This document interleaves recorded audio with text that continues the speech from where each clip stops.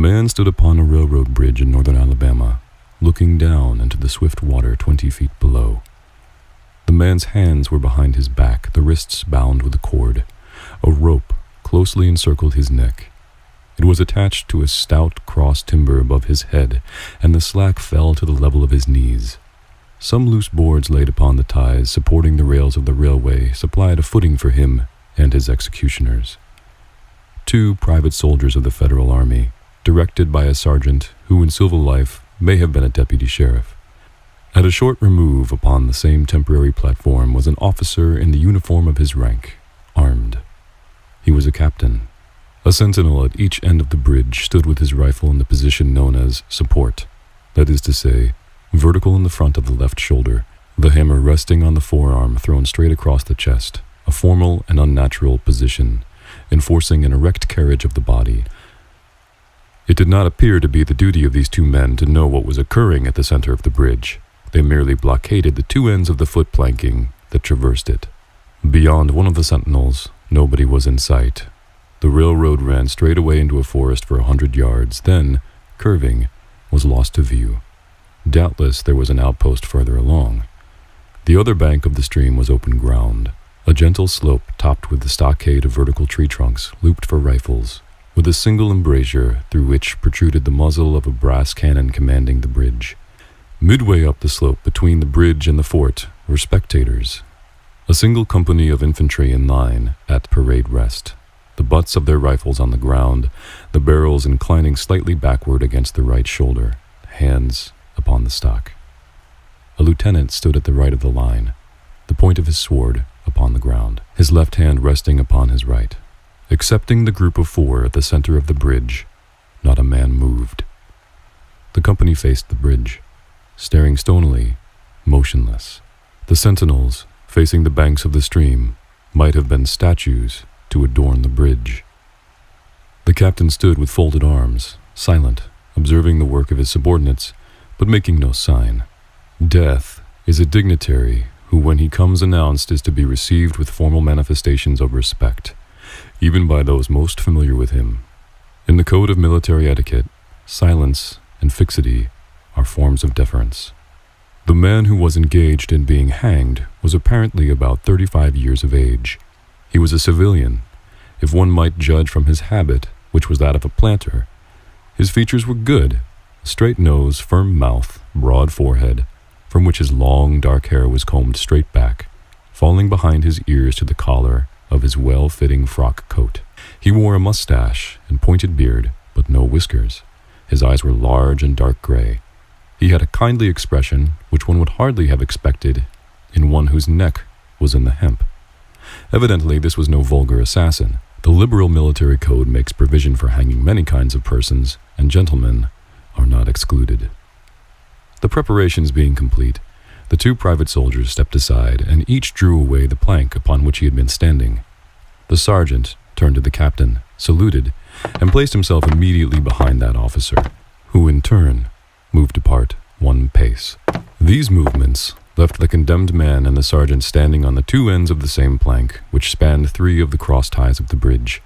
The end, upon which the civilian stood almost, but not quite, reached a fourth.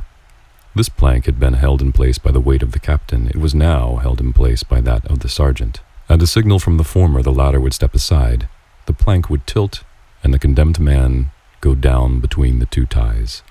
The arrangement commended itself to his judgment as simple and effective. His face had not been covered nor his eyes bandaged. He looked a moment at his unsteadfast footing, then let his gaze wander to the swirling water of the stream racing madly beneath his feet. A piece of dancing driftwood caught his attention, and his eyes followed it down the current. How slowly it appeared to move. What a sluggish stream. He closed his eyes in order to fix his last thoughts upon his wife and children. The water touched to gold by the early sun. The brooding mists under the banks at some distance down the stream, the fort, the soldiers, the piece of drift, all had distracted him and now he became conscious of a new disturbance. Striking through the thought of his dear ones was a sound which he could neither ignore nor understand. A sharp, distinct, metallic percussion like the stroke of a blacksmith's hammer upon the anvil. It had the same ringing quality. He wondered what it was, and whether, immeasurably distant or nearby, it seemed both. Its recurrence was regular, but as slow as the tolling of a death knell. He waited, each new stroke with impatience and, he knew not why, apprehension. The intervals of silence grew progressively longer, the delays became maddening. With their greater infrequency, the sounds increased in strength and sharpness. They hurt his ears like the thrust of a knife. He feared he would shriek. What he heard was the ticking of his watch.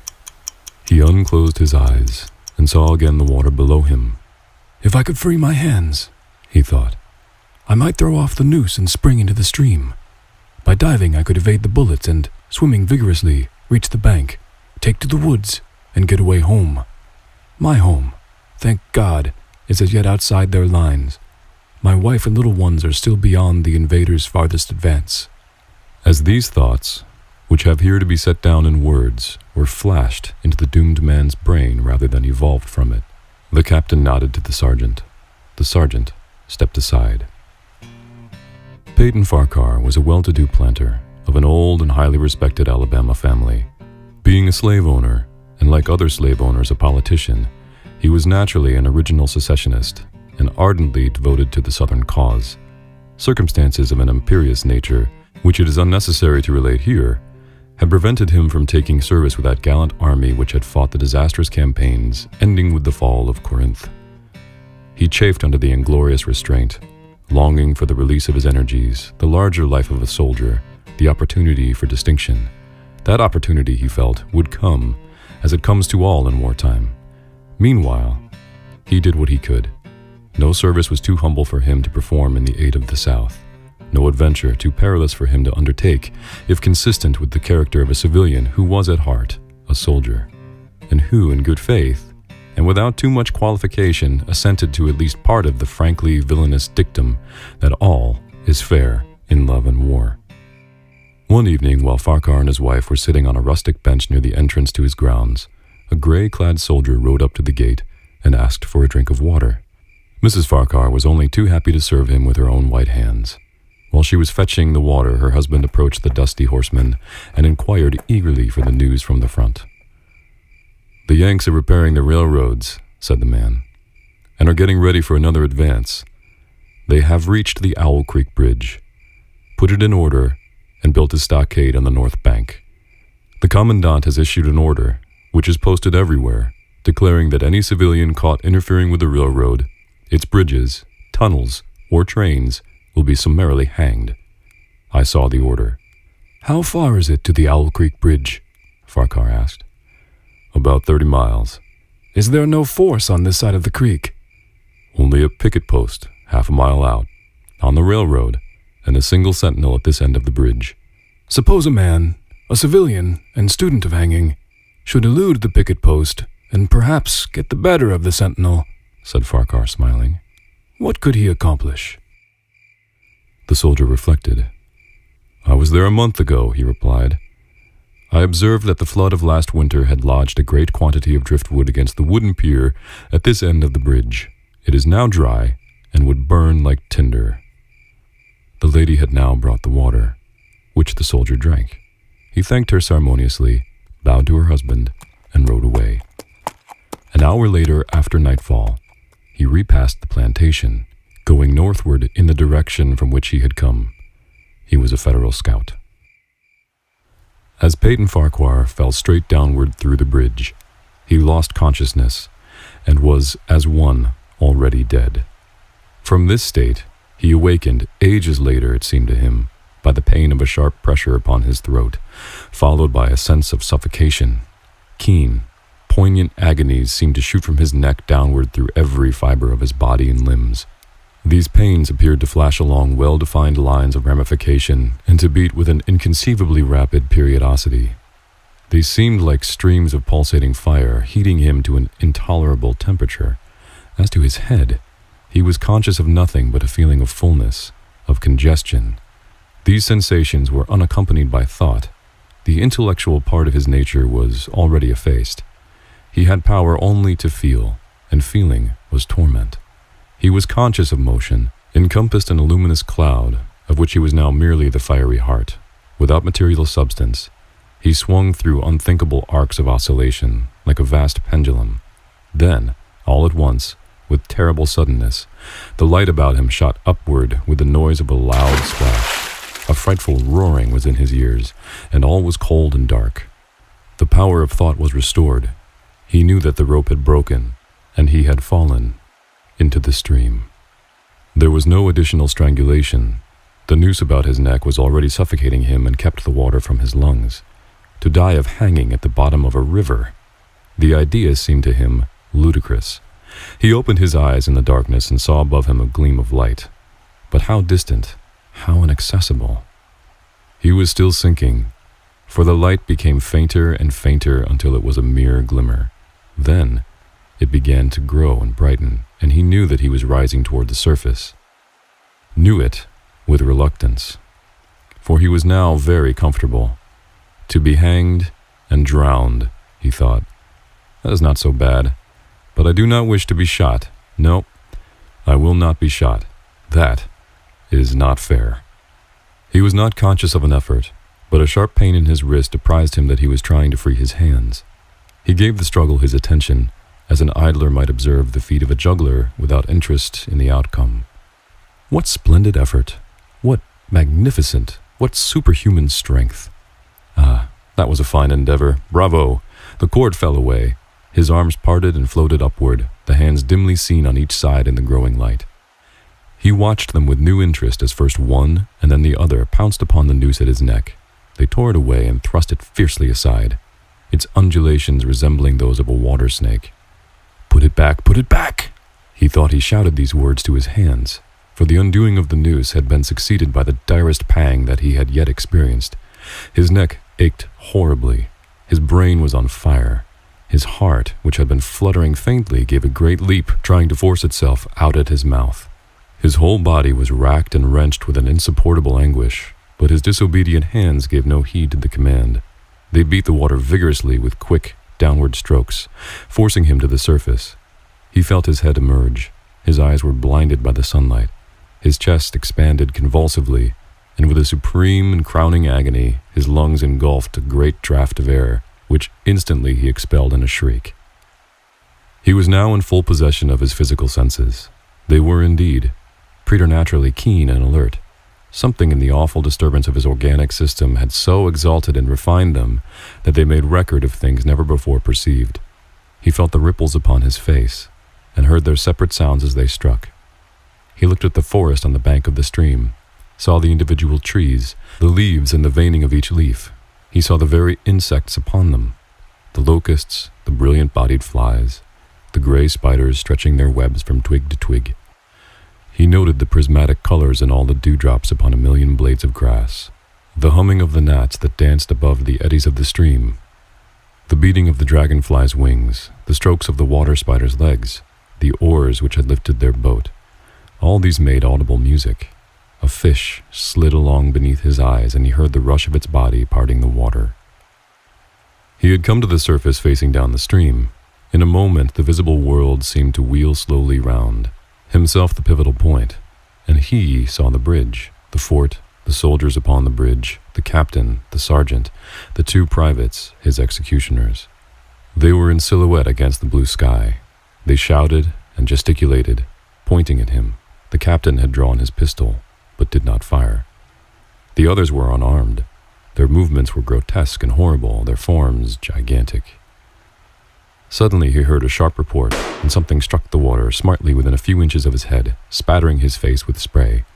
He heard a second report, and saw one of the sentinels with his rifle at his shoulder, a light cloud of blue smoke rising from the muzzle. The man in the water saw the eye of the man on the bridge gazing into his own through the sights of his rifle. He observed that it was a gray eye, and remembered having read that gray eyes were the keenest, and that all famous marksmen had them. Nevertheless, this one had missed. Counter swirl had caught Farquhar and turned him half round. He was again looking at the forest on the bank opposite the fort. The sound of a clear, high voice in a monotonous sing-song now rang out behind him and came across the water with a distinctness that pierced and subdued all other sounds, even the beating of the ripples in his ears. Although no soldier, He had frequented camps enough to note the dread significance of that deliberate, drawling, aspirated chant. The lieutenant on the shore was taking a part in the morning's work. How coldly and pitilessly, with what an even, calm intonation, presaging and enforcing the tranquility in the men, with what accurately measured interval fell those cruel words. Company, attention, soldier arms, ready, aim, fire. Farquhar dived, dived as deeply as he could. The water roared in his ears like the voice of Niagara, yet he heard the dull thunder of the volley and, rising again toward the surface, met shining bits of metal, singularly flattened, oscillating slowly downward. Some of them touched him on the face and the hands, then fell away, continuing their descent. One lodged between his collar and neck. It was uncomfortably warm, and he snatched it out. As he rose to the surface, gasping for breath, he saw that he had been a long time under water. He was perceptibly further downstream, nearer to safety. The soldiers had almost finished reloading. The metal ramrods flashed all at once in the sunshine as they were drawn from the barrels, turned in the air, and thrust into their sockets. The two sentinels fired again, independently and ineffectually. The hunted man saw all this over his shoulder. He was now swimming vigorously with the current. His brain was as energetic as his arms and legs. He thought with the rapidity of lightning. The officer, he reasoned, will not make that martinet's error a second time. It is as easy to dodge a volley as a single shot.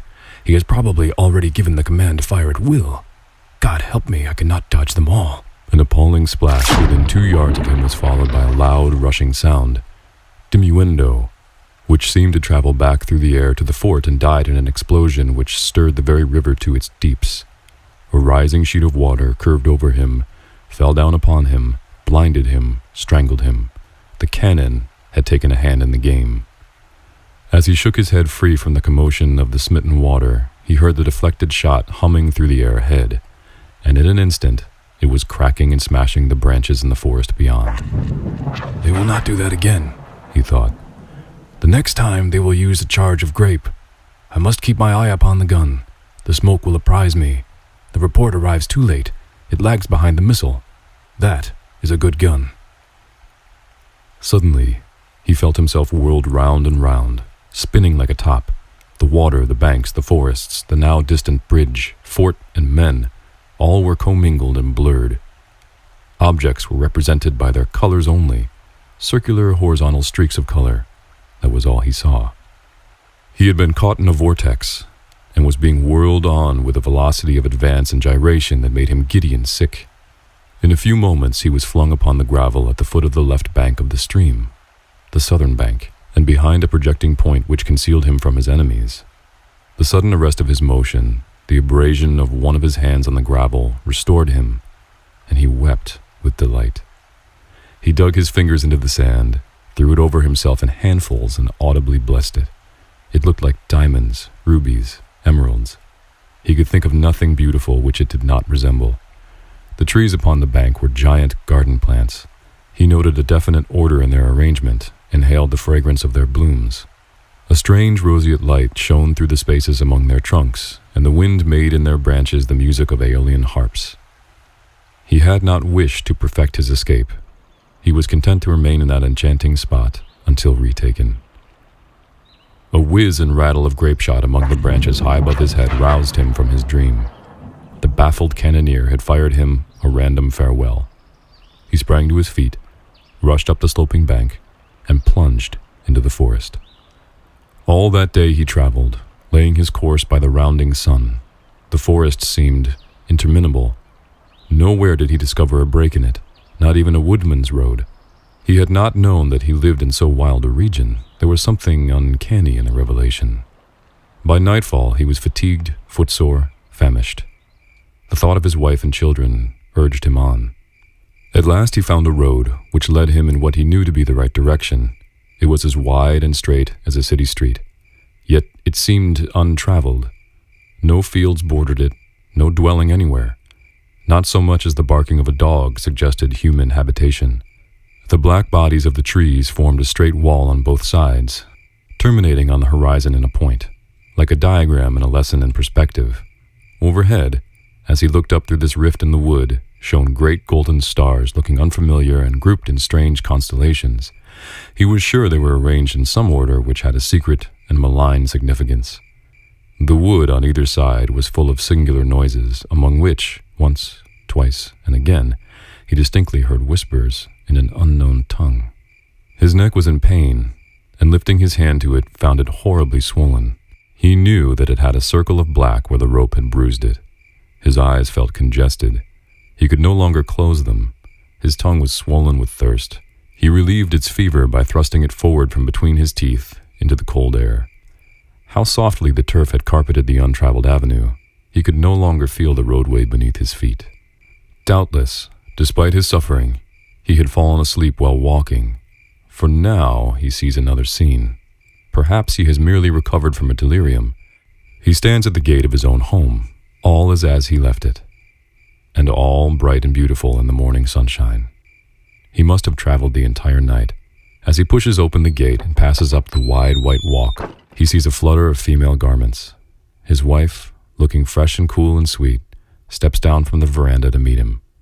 At the bottom of the steps she stands waiting, with a smile of ineffable joy, an attitude of matchless grace and dignity. Ah, how beautiful she is. He springs forward with extended arms. As he is about to clasp her, he feels a stunning blow upon the back of his neck. A blinding white light blazes all about him with a sound like the shock of a cannon. Then, all is darkness and silence. Peyton Farquhar was dead. His body, with a broken neck, swung gently from side to side beneath the timbers of the Owl Creek Bridge.